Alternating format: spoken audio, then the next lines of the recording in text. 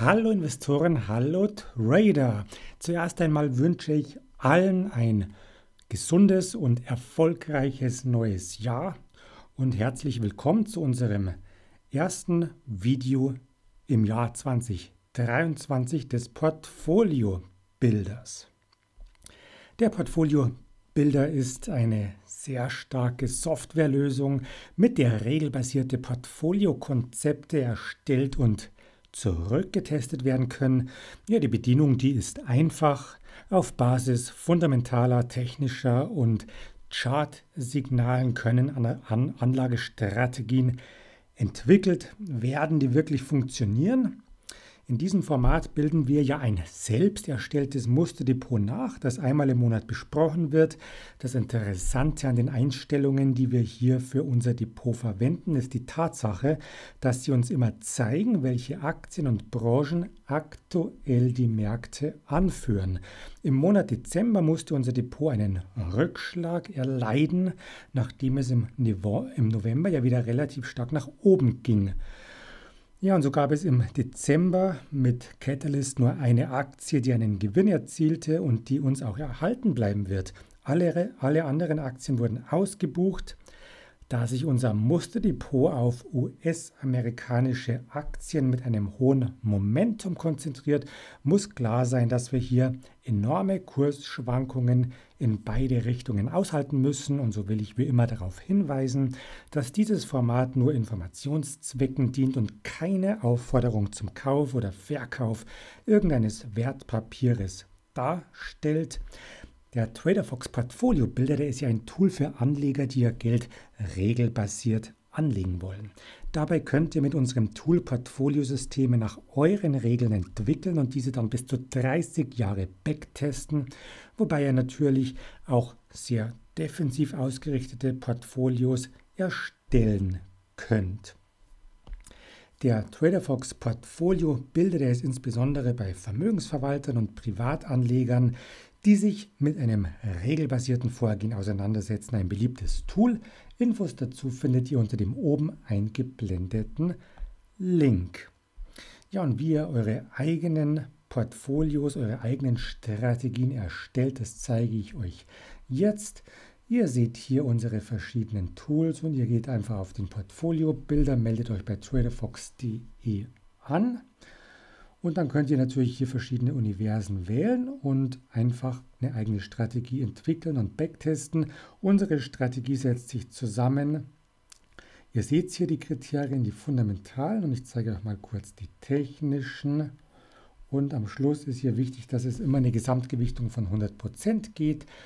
Genau, ihr könnt natürlich auch hier Entry Rules einstellen. Da zeige ich auch mal kurz, ja, es gibt ja hier wirklich sehr viel, welche wir hier haben.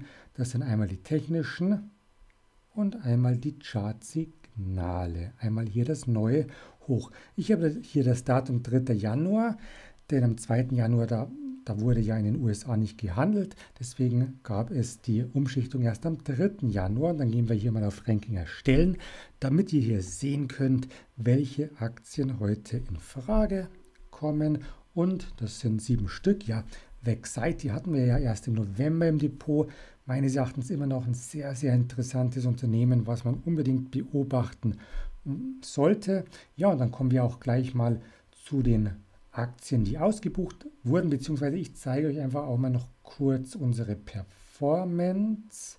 So, die haben wir hier. Die ist ja leider wieder ein bisschen zurückgekommen. Wir waren ja schon bei 107 Prozent im letzten Monat. Ja, und ihr seht, jetzt sind sie leider nur noch 93 Prozent als Benchmark. Haben wir hier einfach aus Übersicht, der Übersicht halber den S&P eingestellt, damit man einfach ein bisschen einen Vergleich hat. Das sind jetzt hier 24 Prozent. So, und dann kommen wir auch schon zu den ausgebuchten Aktien. Zur Information, im Dezember hatten wir ja Impinj, First Solar, Supermicro Computer und Clearfield, ebenso Catalyst Pharmaceuticals im Depot. Alle Aktien bis auf Catalyst Pharmaceuticals wurden ausgebucht. Den größten Verlust mit über 20% haben wir bei Clearfield erzielt. Ja, das tut weh, aber sowas kommt eben vor. Catalyst Pharmaceuticals bleibt uns erhalten und ich finde das Unternehmen weiterhin sehr, sehr spannend. Das hat ja mit Firdapse das einzig zugelassene Medikament für das Lambert-Eaton-Myasthenie-Syndrom. Mitte Dezember gab es hier sehr gute Neuigkeiten. So kündigte das Unternehmen an, dass man die US- Rechte an dem Epilepsie-Medikament Fycompa von Eisai erwirbt. Zusätzlich sichert sich das Unternehmen eine Überprüfungsphase und geht in mögliche Verhandlungen über den Erwerb eines seltenen Epilepsie-Produkts aus der Pipeline des japanischen Arzneimittelherstellers. Die Analysten von HC Rainwright, die hoben daraufhin das Kursziel für Catalyst Pharmaceuticals von 18 auf 24 US-Dollar an ja, und beließen das Rating auf Buy, da die Analysten mit Ficompa eine ganz neue Seite des Wachstums sehen. Ja, und ihr seht schon, die Aktie, die zeigt weiterhin Stärke und ich denke mal, nach der kurzen Konsolidierung dürfte sie auch schnell auf ein neues Allzeithoch ausbrechen. So, dann kommen wir auch schon zu den eingebuchten Aktien. Ihr seht, es handelt sich um ELF Beauty und um drei Biotechnologiewerte: Axon Therapeutics, Acero Therapeutics und Sarepta Therapeutics. Wir beginnen aber erstmal mit ELF Beauty. Das ist ein Hersteller von Kosmetikprodukten wie Make-up, Eyeliner, Cremes und Lippenstiften. Der Verkauf erfolgt online sowie in ausgewählten Drogerien. Dabei legt das Unternehmen seinen Fokus auf Nachhaltigkeit und betont den Verzicht auf Tierversuche für die Entwicklung seiner Produkte. Im September 2022 wurde eine Produktionsstätte von ILF mit dem Fairtrade USA-Zertifikat ausgezeichnet. Ja, und damit ist ELF das erste Unternehmen der Kosmetikbranche mit dieser Auszeichnung. Die Marktkapitalisierung, die liegt hier übrigens bei 3 Milliarden US-Dollar. Ja, langfristig positioniert sich ELF Beauty in mehreren Megatrends. Zum einen dem Veganismus und eben der Nachhaltigkeit. Ja, und zudem wagte das Kosmetikunternehmen unter dem Motto Gaming trifft auf Make-up als eines der ersten Unternehmen den Schritt in den Gaming-Markt und nimmt Kurs auf das künftige Metaverse. Im Oktober 21 wurde von ELF der erste Beauty-Markenkanal auf Twitch gestartet, mit dem insbesondere weibliche Gaming-Fans angesprochen werden sollen. In den letzten Jahren zeigte ELF eine stabile Umsatzentwicklung. Im vergangenen Geschäftsjahr stiegen die Umsätze um 23 Prozent gegenüber dem Vorjahr. Ja, und zuletzt beschleunigte sich das Wachstum weiter und das Management erhöhte wiederholt die Prognosen. Seit 2015 arbeitete das Unternehmen jedes Jahr profitabel. Die Nettomargen, die waren zwar zwischen 2017 und 2021 leicht rückläufig, die Bruttomargen allerdings blieben konstant bei 60 bis 65 Prozent. Im aktuellen Geschäftsjahr sollen die Gewinne wieder anziehen. Möglich scheint dies durchaus zu sein. So wurde die Gewinnprognose zuletzt vom Management um satte 26 Prozent angehoben. Ja, nach dem Trader Fox Wachstumscheck bekommt die Aktie 12 von 15 Punkten. Einzig beim Umsatz- und Gewinnwachstum gibt es dann einen Abzug. Die größte Gefahr dürfte aktuell in der überdurchschnittlich hohen Bewertung zu finden sein. So liegt das KV bei 7. Ja, und das KGV, das liegt bei 100. Allerdings, wenn das Wachstum hier wieder stärker anzieht, dann könnte sich das auch ändern. Also dann könnte es hier durchaus auch zu einer günstigeren Bewertung bei gleichem Kursniveau kommen. Die Aktie von ELF Beauty, die konsolidierte seit 2020 und gab in der ersten Jahreshälfte 22 mehr als 30 Prozent nach. Seit Ende Mai zieht sie allerdings wirklich sehr steil nach oben und machte zuletzt immer neue Allzeit hoch. Ihr seht sie hier selbst. Aktuell bildet die Aktie eine schöne Flat Base am Allzeithoch aus. Ja, und durch diese schöne Flat Base kann man auch einen relativ risikolosen Einstieg mit enger Verlustbegrenzung wählen. Würde ich prozyklisch machen, wenn die Aktie bei 57 US-Dollar ausbricht. Das zweite Unternehmen, das ist Sarepta Therapeutics. Das ist ein biopharmazeutisches Unternehmen, das sich mit der Entdeckung und Entwicklung von Therapeutika zur Behandlung seltener erblicher Krankheiten beschäftigt. Ja, das Unternehmen, das ist führend in den Bereichen Duchenne Muskeldystrophie, abgekürzt DMD. Das ist eine seltene, fortschreitende und erbliche Muskelerkrankung, die mit zunehmendem Muskelschwund einhergeht. Gleichzeitig forscht man an der Gliedergürtel-Muskeldystrophie. Ja, und deren gemeinsames Merkmal sind Lähmungen der Muskulatur des Schulter- und des Beckengürtels. Ja, zusätzlich hat Sarepta derzeit mehr als 40 Programme in verschiedenen Entwicklungsstadien. Die umfangreiche Produktpipeline, die wird von plattformübergreifenden genetischen Präzisionsmedizin in den Bereichen Gentherapie, RNA und Genbearbeitung angetrieben. Ja, das Unternehmen, das ist schon relativ alt, 1980 gegründet und hat seinen Hauptsitz in den USA, in Massachusetts. Die Marktkapitalisierung, die beträgt 10,6 Milliarden US-Dollar. Die Zahlen zum dritten Quartal, die Anfang November veröffentlicht wurden, mit einem Umsatz von 230 Millionen und einem EPS-Verlust von minus 0,80 US-Dollar, die lagen beide unter den Erwartungen, enttäuschten aber nur kurz. Für das Gesamtjahr, da wird ein Umsatz zwischen 825 und 840 Millionen US-Dollar erwartet. Ein Gewinn wird allerdings frühestens im Jahr 2024 erwartet. Im Oktober hatte das Unternehmen eine beschleunigte Zulassung von SRP 9001 für DMD eingereicht. Ja, und hierin liegen aktuell auch die größten Hoffnungen für das Unternehmen, wobei diesbezüglich im Laufe des Jahres hier eine Entscheidung folgen sollte. Ja, wie gesagt, das Unternehmen, das ist nicht profitabel, verfügt aber über eine relativ liquide Ausstattung. Das sind liquide Mittel in Höhe von 1,9 Milliarden US-Dollar. Der Betriebsverlust, der war auch zuletzt nicht sehr hoch, betrug in den letzten sechs Monaten nur 300 Millionen US-Dollar, sodass hier vorerst, meines Erachtens zumindest, kein weiterer Finanzierungsbedarf in Form von Kapitalerhöhungen anstehen dürfte. Ja, und so dürfte das größte Risiko aktuell darin bestehen, dass eine Studie scheitert oder ein Medikament nicht genehmigt wird. Nach dem Scheitern der SRP 9001-Studie halbierte sich die Bewertung des Unternehmens im letzten September. Ihr könnt es eigentlich hier sehr schön am Chart sehen, in einem Tag um die Hälfte. Ja, und somit sollte man sich bei Biotechnologiewerten natürlich genau vorher überlegen, wie viel Geld man hier riskieren möchte. Aktuell befindet sich die Aktie etwas 7% unter ihrem Allzeit, äh, unter ihrem 52-Wochen-Hoch, ist glaube ich kein Allzeithoch.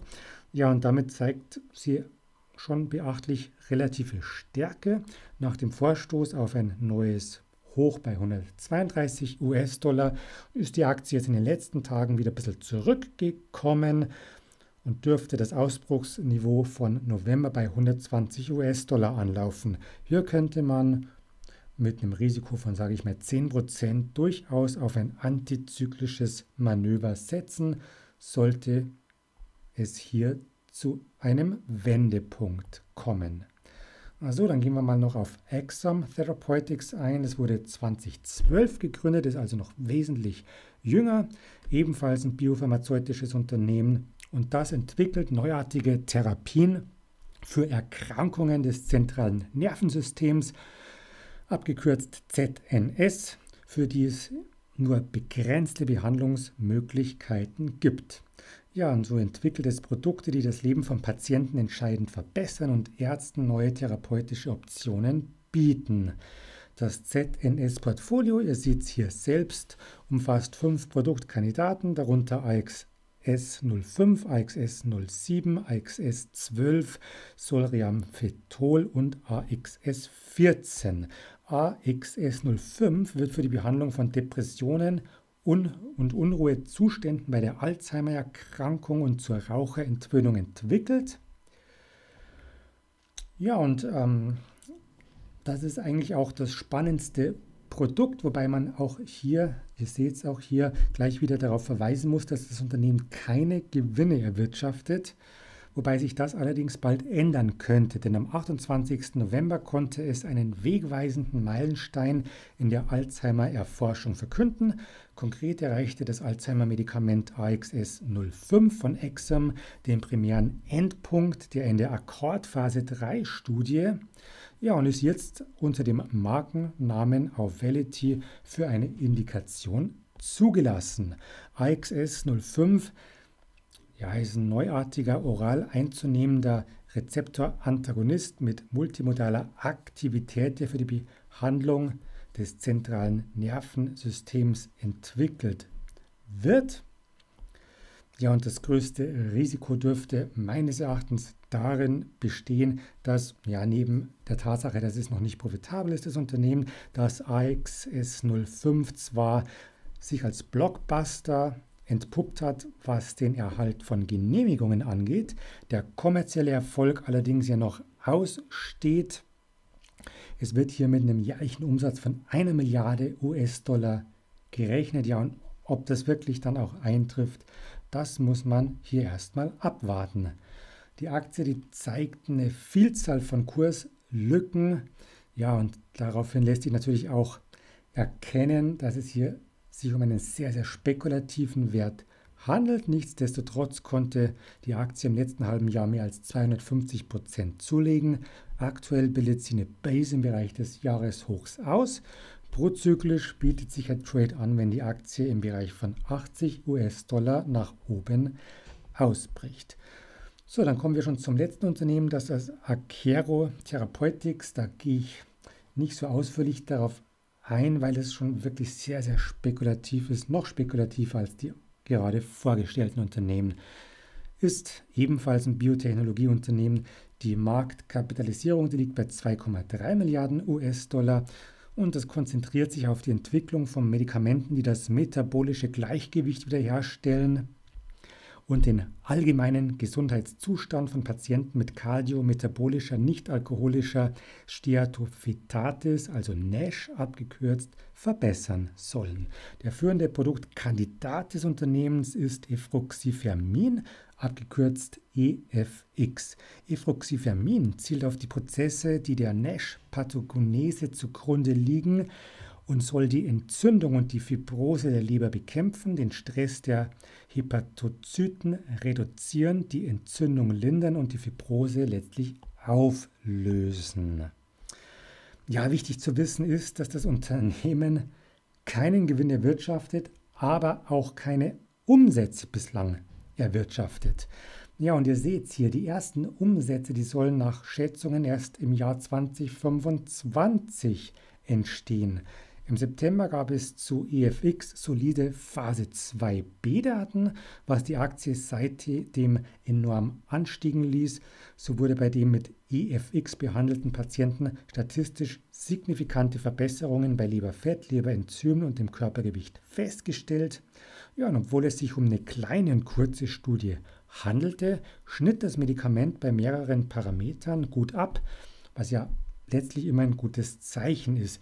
Grundsätzlich ist aber darauf hinzuweisen, dass die Pipeline relativ klein ist, ja, und eine mögliche Marktzulassung ja noch relativ weit entfernt ist. Und somit könnten mehrere Rückschläge ausreichen, um das Unternehmen vom Markt zu fegen. Also von dem her einfach hier ein bisschen vorsichtig sein, wenn man hier reingehen will. Die Aktie von Akero erreichte im letzten Jahr ihr Tief bei 7 US-Dollar und war lange Zeit in einem Abwärtstrend gefangen. Mit der positiven 2b-Studie kam es letzten September zu einem Kurssprung von über 100 Prozent. Ja, und seitdem legte die Aktie nochmal um weitere 100 Prozent zu, ist aber zuletzt wieder in eine Konsolidierung übergegangen. Der GD50, der könnte eventuell auf dem aktuellen Niveau als Unterstützung, als Halt dienen. Aber bei so einem spekulativen Wert wie Akero, da ist es natürlich auch denkbar, dass die innerhalb kürzester Zeit wieder runter an die Pivotal Price Line im Bereich von 25 US-Dollar läuft. Ja, wir sind am Ende angekommen. Ich hoffe, euch hat das Video Spaß gemacht. Wenn ja, dann gebt mir doch einen Daumen nach oben und ich bin gespannt, welches Unternehmen im nächsten Monat zu den Gewinnern zählen wird. Bis zum nächsten Mal, sagt Andreas Haslinger.